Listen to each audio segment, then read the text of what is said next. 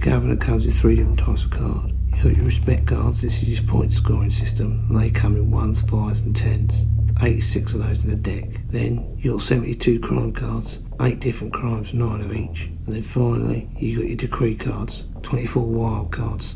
Some of them nice, some of them a little naughty. You know how it is. The main party game takes 30 to 90 minutes depending on the number of players. It's dead simple. Any old mug can play it. Start off by giving every player 7 respect points. Then shuffle the crime cards and deal them out equally amongst the players. When the is ready, he shouts out, let's do business, and places any number of cards face down on the table. But they must be identical. You can't mix crimes when you're shopping. At this point, all the other players start doing business. Two here, three there, one there. Don't matter. Just as long as you're always swapping identical cards. As soon as you manage to get nine identical crime cards, you shout have some of that and slap them down on the table for everyone to see. You then become the governor of the round. At this point, all the other players pay you respect, and then you collect any other respect owing from the profit on your card. Now all the other players have to reveal their cards too. If they got six or more of the same crime in hand, they've been caught red-handed, and they've got to choose between paying their parole or go to prison, is basically missing the next round. Of course, you as the governor, with your newfound influence, might decide to protect them, but that's down to you. Once all that's been sorted, governor takes a decree card from the decree pile. Could be good, could be bad, who knows? Might affect you, might not. Won't worry about it. Once all that's said and done, deck shuffle, next dealer starts, off you go again, don't you?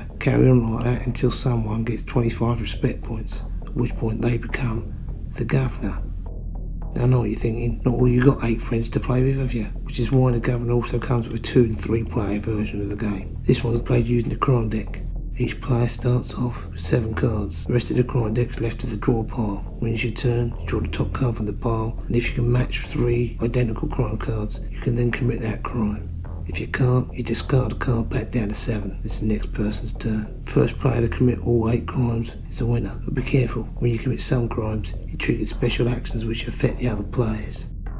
So let's recap. Two free player game. Takes 10 or 15 minutes. Means you've got just enough time to put a round in before the lights out, or whilst you're waiting for those other mugs to turn up so you can play the party game. The main party game takes 30 to 90 minutes depending on the number of players and how good you are. Both easy to learn, they're both fun to play. So remember with the GUVNOR, you're getting two games in one, plus load of variants on the party game. Can't say fairer than that, can I?